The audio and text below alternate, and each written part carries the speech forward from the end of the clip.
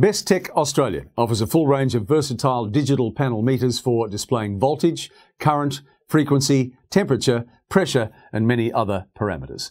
Hi, I'm Tim Webster.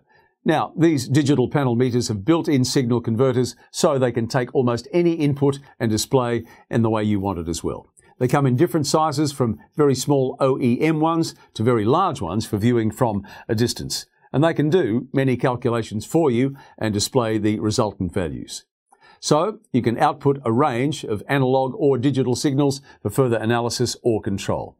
They can be connected to a printer, recorder, controller, computer, or other devices.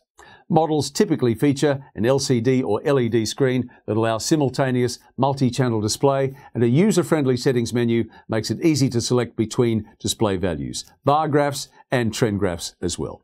And to find out more, go to bestech.com.au. I'm Tim Webster. Thanks very much for watching.